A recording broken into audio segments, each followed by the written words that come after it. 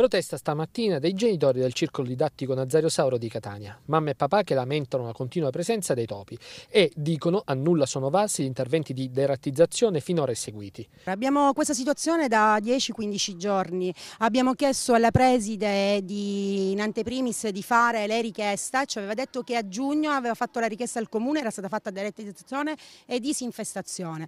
Poi eh, martedì scorso abbiamo chiamato noi genitori il comune, sono venuti e non esisteva riceveva nessuna richiesta. Eh, hanno fatto martedì e mercoledì derettizzazione e disinfestazione, ma quelli del comune ci hanno detto che se non eh, ovviamente all'apice sistemavano i buchi e le situazioni della scuola tecniche non avrebbero concluso niente. Infatti venerdì facciamo rientrare i bambini e trovano la, la scuola piena di topi. Nei corridoi i bambini si trovavano insieme ai topi. Allorché dico che in questo momento la preside è con uh, le rappresentanti di classe dove esce una dichiarazione da una rappresentante di classe che dice che la preside afferma che i topi non sono un pericolo per i bambini e che il pericolo fondamentale è solo nel caso in cui il tetto cadrebbe. Quindi ditemi voi, lo Stato pretende l'ASL da noi i vaccini ai bambini che hanno problemi come i miei figli e vengono ricoverati per un vaccino protetto e ci multano, però possono vivere e convivere con i topi. Intanto la dirigente Francesca Condorelli spiega ai nostri microfoni che si sta facendo tutto il possibile per risolvere la questione.